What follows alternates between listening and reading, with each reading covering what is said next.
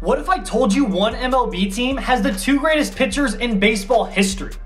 The 2022 New York Mets are bringing back 80s Mets vibes to the Big Apple.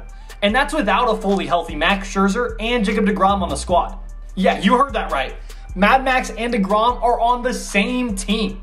Barring a second half collapse, which would be the most Mets thing ever, look for DeGrom and Scherzer to fight each other for the NL Cy Young and for the Mets to make a World Series run, with two of the best pitchers ever leading the way.